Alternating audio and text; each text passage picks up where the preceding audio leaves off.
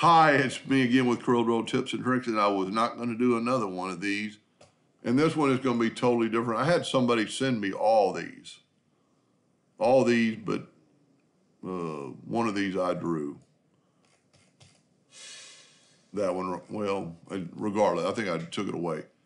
Uh, these aren't accomplishing what we were going to do yesterday by cutting out these squares. But if you look at this one right here, pretty intriguing how the pattern just kind of sweeps and they are diamonds. And if you did this and uh, right click no outline, and then you could cut these out and that would be a pretty unique pattern, almost like we did last night. But how he drew these were pretty neat and ingenious, and there's a couple little shortcuts. Hold down the control button, make a perfect square, Let's make this one 10 inches. Hit P, put it in the center of the page. Control D and make another one and make it five.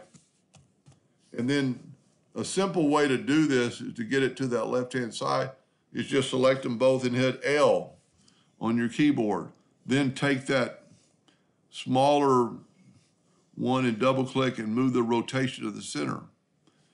And then control D and make a duplicate and rotate it just 10 degrees and then keep control D or use your rotation docker to do this. Well, I mean, voila, look at the diamonds. And you could very easily use this shape however you wanted, you know, fill them in. Um, you know, if you wanted to, you could, if you're not having to cut them out, you could uh, fill in every other one or you could fill in like this or however you wanted to do it. But if you wanted to cut them out, you'd have to, you know, make this pattern or whatever. And then he also did something that's pretty unique. He also made one with rings around it. So there's rings, and then it splits the diamonds up.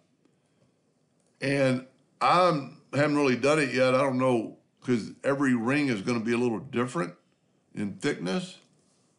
But if we can grab that outer ellipse, and when you click on it, it says ellipse right there Control D and make a duplicate. And then from the corner, holding down the shift key, I wasn't looking, I wasn't holding down the shift key, and get about to that intersection.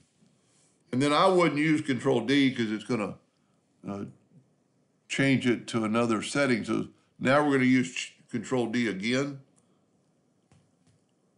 And well, that time it worked. But see, that time it's not going to work because the angles are different every time hold down the shift key and bring that back out, which helps it grow from the center. And I actually left one out right there, so control D or hit the plus key on your keyboard and grow. I got them both. Hit the plus key on your keyboard, hold down the shift key, and so you're making rings that are gonna, and if you got it dead on, uh, I really wish I would ask him how he how he got it dead on, because um, I think you're pretty much going to have to go around these corners, and by the time you do that, you're you're zoomed out so much you can't really see it. Make sure you get that line. Hold down the shift key. So you've got to you've got to go from these corners, and then by that time it might uh, in holding down the shift key, it might be out of the, you can't really zoom in, you can't really see it. Um, so maybe he'll, maybe, maybe I'll make another one yet to figure out how to get those rings perfect.